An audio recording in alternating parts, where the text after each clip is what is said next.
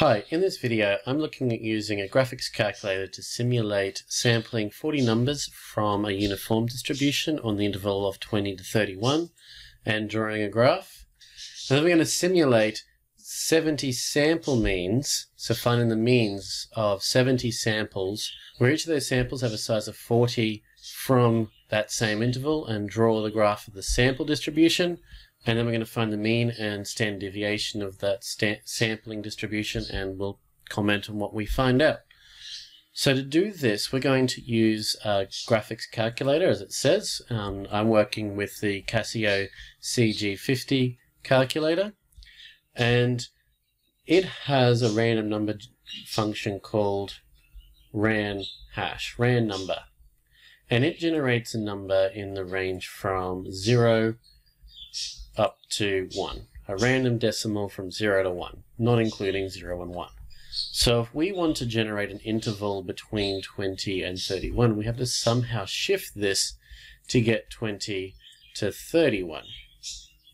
And so to do that, we have to expand out our range from 0 to 1 up to the range from 20 to 31. So I've first got to have a look at the width of my interval. And so the interval that I want is going to be 31 minus 20. It's going to have a width of 11. So I've got to expand my random number from 0 to 1 to be from 0 to 11. And so what I'm going to do is multiply that random number by 11. And then I've got to shift that to start at 20. So I'm going to add on 20. So our actual overall number to get this is actually to get a number in the range from 20 to 31 I'm going to do 20 our smallest number and then add on my width of 11 and then multiplied by that random number between 0 and 1. So let's go and put this now into our graphic calculator and we want to do it 40 times. So when we go to our graphics calculator, I'm going to use the spreadsheeting function here, so that way we can get 40 times. And so let's go to the spreadsheet function. And down column A, I'm going to do our 40 numbers for our first sample. So we've got to type in our little rule that we've developed here. So I'm going to go shift equals to start up a rule. And we're going to type in our rule 20 plus 11 times by our random number. So to get our random number, I'm going to go to Options, Probability, then Rand, and we've got our different random numbers. We just want a random number. So if I press Execute now, I've got a random number, 29.912, so that's within our interval. And now I want to get that to be 40 times. So I'm going to fill this up from row 1 to row 40. So I've got to clip it. So we're going to go Shift 8 for clip. We're going to go to our Edit menu, go around with F6 to fill. And we want to fill our rule from A1 all the way up to A40. So that way we have our 80 numbers. Press execute and execute to save and it generates our 40 numbers and if we exit out so that I'm no longer clipped and trying to copy, I can see that we're between 20 and 31 if I go down our numbers here. So now we want to graph this. So to graph it, I'm going to go around to our graphing menu and we're going to set up our graph. So I'm going to go to set, we're setting up graph 1 we want it to be a histogram. Currently it's saying that we're going to be doing A1 to A50. We want it to do A1 to A40 because we only have 40 samples. So know, execute to save and execute again. And so now we can do graph 1. It wants to know what our lowest number is, which is 20, and what we're going to set our width for our intervals to be. At the moment, 0.2, that sounds reasonable. We've got decimal numbers in our ranges, so we'll keep it within decimals. And we'll graph that, and we'll get this histogram here, which we can see that there's a few numbers that are missing, but overall we can see a uniform distribution of a rectangle being formed here.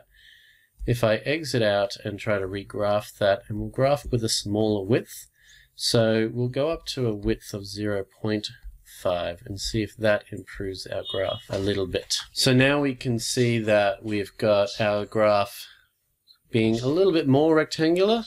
We've got less bars now because we've increased the width of each of those bars. We've still got some gaps. I would imagine that if I try again with the width of 1, I would get rid of those gaps. And we mostly have but overall, we can see that our numbers are within this range and uniformly distributed across it. We haven't got any sort of curving or massive spikes anywhere. So that's our uniform distribution there. So now we've got our single sample of 40 numbers. Let's have a look at simulating 70 samples and getting their means and having a look at what that graph looks like. So to create one sample, we're going to need to create up a new rule. So we're going to go shift equals. And we're still going to want our 20 plus 11 times a random number. But this time we want a random number list. So that way we have a list of 40 numbers. So we're going to use list this time rather than a random number. We're going to get our rand list, which just generates a list of whatever number you put in here of numbers between 0 and 1. So that's going to give us a list between 20 and 31 with 40 numbers in it. But we want the mean of all of that, so we're going to go to options list and go around till we find sum. So that way we can sum up all of this and divide by how many we have in that list, which is 40. Press execute and we get one sample of 40 items and we found the mean of it. And so now we want to do this 70 times. So we're going to shift clip. We're going to go to edit and round to fill. And we're going to fill this all the way up to be 70. So that way we have 70 samples. Press execute a couple of times and it will generate 70 sample means of numbers uniformly distributed between 20 and 31. So now we have our 70 samples. We can exit out and we can have a quick look down this list and see that they start about 24 and they go up till somewhere like 26, 27, but it seems like our smallest number is 24. So let's go and make sure our graph is set up. So we'll set up for graph number two. And we want to make sure we have a histogram between B1 and B70. We want to make sure we go to 70 because that's where our data is. So exit out of our set, well, or execute our set, make sure it's saved. And we'll graph graph 2. Our distribution, we said, starts at 24. So we'll put in 24. And we'll try width of 0.2 see what it looks like. So we graph it and we get that, which looks kind of like a uniform distribution. Let's have a look at what happens if we try a smaller width. So we'll try halving our width to 0.1. That gives us a graph that even looks even more like a uniform distribution because we can see it curving up to a max and curving down to a min. So that's our graph now. And so now we can do part C, which is to get the mean and standard deviation. And we have our one variable statistics available from our graph right here. So we can go F1 and get our one variable statistics. And we can see that our samples gave us a sample mean of 25.47 and a sample distribution, which is the SX, to be 0.46 four, five. So we can get using our data, our, our spreadsheet, even some statistics from our sampling distribution. So now we can do part D, which is to comment on the results. So even though our first graph, which we started from 20 and had a width of 1,